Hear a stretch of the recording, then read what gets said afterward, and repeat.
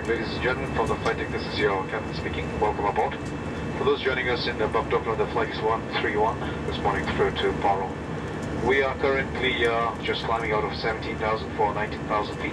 You can see uh, Everest as well. Everest would be uh, the highest mountain, standing at 8, 850 meters or 29,035 feet above mean sea level.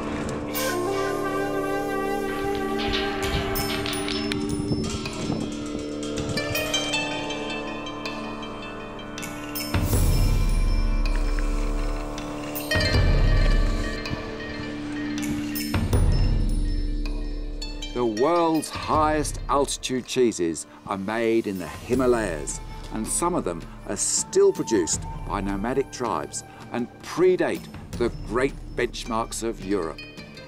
I've travelled the isolated Buddhist kingdom of Bhutan to see how these cheeses are made and learn how they're linked to this country's cultural heritage. Known as the land of the Thunder Dragon, this small remote country lies between Nepal, Tibet, China, and India.